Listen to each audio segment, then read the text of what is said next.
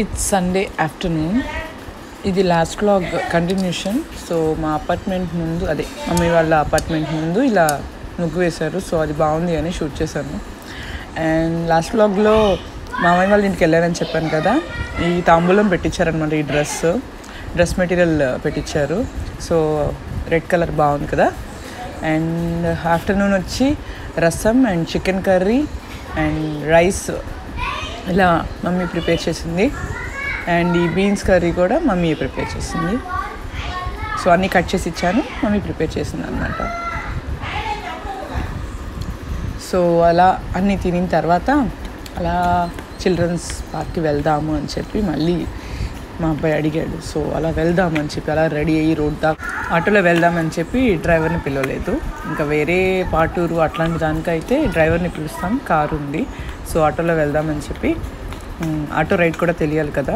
అందుకని మా అబ్బాయికి ఆటో రైడ్ చూపిద్దామని ఆటోలో వెళ్ళాం. సో ఆటోలో స్టార్ట్ అయ్యాం. సో మా మమ్మీ అవుట్ఫిట్ చూసారా? బేబీ పింక్ కలర్ సల్వార్ వేసింది.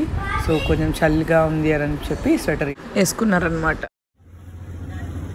మేము అలా వెళ్తుంటే మినీ బైపాస్ రోడ్ కనిపించిందండి. ఎంత చేంజ్ అయిపోయిందంటే నేను last time six months back వచ్చాను కదా అప్పుడు ఒకలాగుంది ఇప్పుడు ఒకలాగుంది.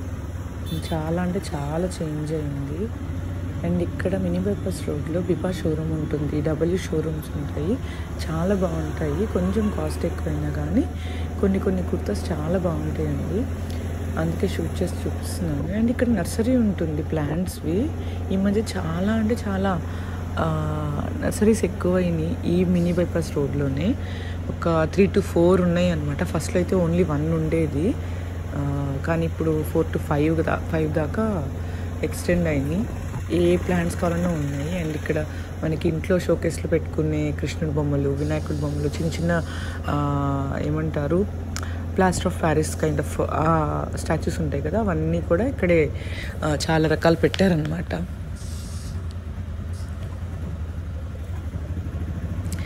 అండ్ ఇక్కడ జాయల్కాస్ దగ్గర అయితే అస్సలు అబ్బా అసలు రోడ్ చూడండి ఎలా ఉంది. అన్నీ వర్క్ జరుగుతున్నాయి అసలు. ఎంత చేంజ్ అయింది నాకే అర్థం కాలేదు చిల్డ్రన్స్ పార్క్ వెళ్తుంటే. ఓ మై గాడ్ అనుకున్నాను. బ్రిడ్జ్ వేశారు కొత్తది. అసలు నేను చూసి నేను షాక్ అయ్యాను. చూడండి ఎలా ఉందో రోడ్ అసలుకి. హైవే లాగా చేస్తున్నారు జాయిల్ కాస్ట్ ముందు నుంచి అలా వెళ్తుంటే నేను షూట్ చేశాను. సో చిల్డ్రన్స్ పార్క్లో ఇప్పుడు కొత్తగా బౌన్సర్ పెట్టారు. స్లైడింగ్ బౌన్సర్స్ అంట ఇవి ట్రాంపలీనో ఉంది అండ్ బౌన్సర్ కూడా ఉంది. ఇంతకుముందు వెళ్ళినప్పుడు లేవు. అండ్ అది కావాలి అని చెప్పి దానికి మళ్ళీ సపరేట్ ఫార్టీ రూపీస్ పే చేస్తే ఒక టెన్ మినిట్స్ అలా ప్లే చేయిస్తారు. టెన్ మినిట్స్ తర్వాత మళ్ళీ వచ్చేయాలన్నమాట. అలా ఒక one and half hour two hours ఉన్నాము. ఇంకా సెవెన్ అలా అయ్యింది ఇంక స్టార్ట్ అయ్యాం మళ్ళీ రిటర్న్ హోమ్కి. ఫుల్ డార్క్గా ఉంది రోడ్ అంతా బట్ uh, ఇంకెళ్ళిపోదాము వద్దు చలి ఎక్కువ అవుతుంది అని చెప్పి మళ్ళీ ఇంటికి రిటర్న్ అయ్యాం. ఎవరికైనా ఆటో రైడ్ నచ్చితే నాకైతే చాలా నచ్చుతుంది. నాకు కార్ కంటే ఆటో రైడే నచ్చుతుంది. నాకు ఎందుకంటే నాకు ఏసీ అంతగా పడదండి. నాకు సఫకేషన్లా అనిపిస్తుంది. నాకు ఆటో అయితే ప్రశాంతంగా వెళ్ళొచ్చు అని ఫీల్ అవుతాను. మీకు ఎవరికైనా అలా అనిపిస్తే నాకు కింద కమెంట్ సెక్షన్లో చెప్పండి. ఎందుకంటే నేను ఒక్కదాన్నే కాదు కొంతమంది అయినా ఉన్నారు నాకుతో పాటు అని అనుకుంటాను. అండ్ ఇంటికి వచ్చాము ఇంటికి వచ్చేసరికి మధ్యాహ్నం ఆల్రెడీ చికెన్ కర్రీ ఉంది కదా ఇంకా రిమైనింగ్ తీసి అన్నీ క్లీన్ చేద్దాము. కిచెన్లో అని చెప్పి అన్ని యుటెన్సిల్స్ క్లీన్ చేస్తున్నాము. ఒక బౌల్లో వేసుకొని ఉంచుకుంటే మనం తినడానికి మళ్ళీ నీట్గా ఉంటుంది కిచెన్లో నాకేంటంటే ఏదైనా తిన్న పెట్టుకోవాలన్నా రైస్ పెట్టుకోవాలన్నా కిచెన్ నీట్గా ఉండాలి అని ఫీల్ అవుతాను నేను మా మమ్మీ. సో తన దించే వచ్చిందనమాట నాకు ఈ హ్యాబిట్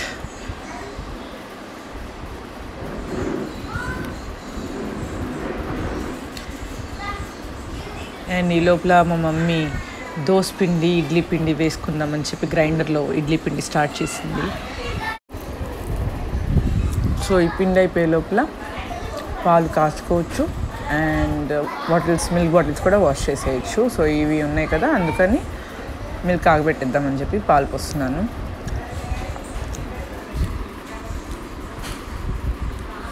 నాకు ఆ బాటిల్స్ అలా కనిపిస్తూ ఉంటే ఎప్పుడెప్పుడు వాష్ చేద్దామని అనిపిస్తుంది. వాష్ చేస్తే నీట్గా కనిపిస్తుంది మెస్సీగా కనిపించదు కదా కిచెన్ అందుకని. కానీ చిల్డ్రన్స్ పార్క్లో చాలామంది జనం అండి న్యూ ఇయర్ ఒక రీజన్ సెకండ్ రీజన్ ఏంటంటే సండే ఫుల్ అంటే ఫుల్ క్రౌడ్ ఉన్నారు. ప్లస్ భయం వేసింది నాకు అసలు బయటకు వస్తామా లేదా? మేము వచ్చే టైంకి ఏంటంటే సెక్యూరిటీ లేడు అక్కడ ఎగ్జిట్ ఎంట్రీ ఒకే వే పెట్టారు. సో ఫుల్ టఫ్ అయింది.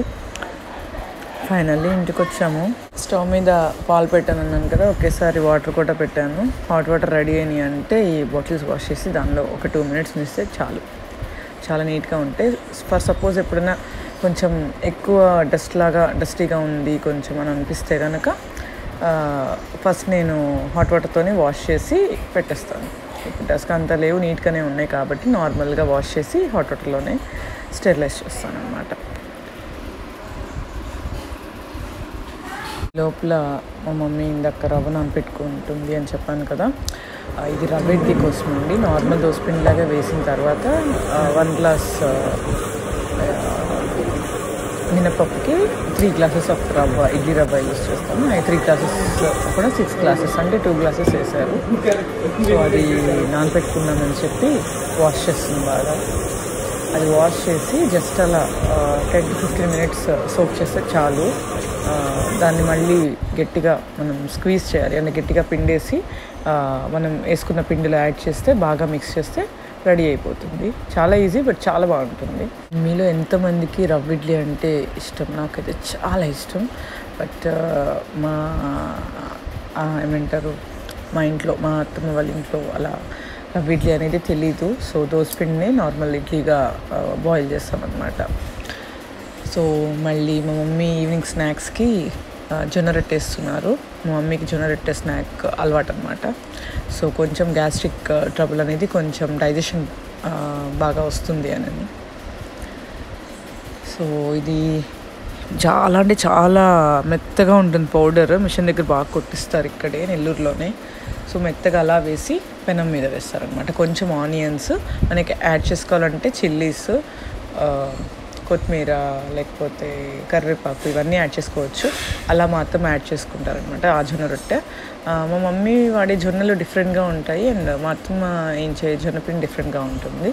అంటే colour shade difference and taste కూడా డిఫరెంట్గానే ఉంటుంది. మమ్మీకి అంత స్పైసీ నచ్చదు సో చిల్లీస్ యాడ్ చేయలేదు. నార్మల్గా వేస్తే అయినా సూపర్ ఉంటుంది టేస్ట్. అండ్ అత్తమ్మ చేసినా కానీ అది కూడా చాలా బాగుంటుంది. ఇక్కడితో ఈ వీడియో ఎండ్ చేస్తున్నాను. జస్ట్ మినీ బ్లాగ్ లాగా.